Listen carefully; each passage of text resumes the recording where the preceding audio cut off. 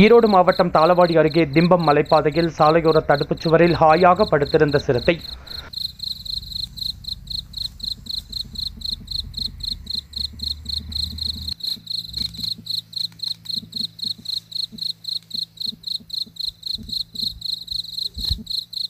ஈரோடு மாவட்டம் சத்தியமங்கலம் புலிகள் காப்பகம் அமைந்துள்ளது. இங்கு சிறுத்தை புலி கரடி யானை அதிகமாக காணப்படுகிறது.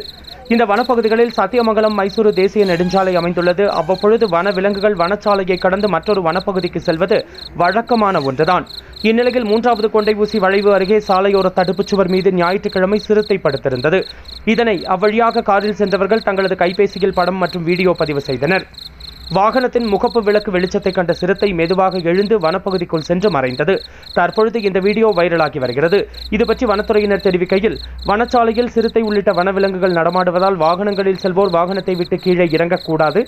வனவிலங்குகளின் அருகே வாகனத்தை நிறுத்தக்கூடாது என்று வனத்துறையினர் அறிவுறுத்தியுள்ளனர். வைல்ட் லைஃப் வால்பாறைக்காக நமது செய்தியாளர் முருகானந்தம்.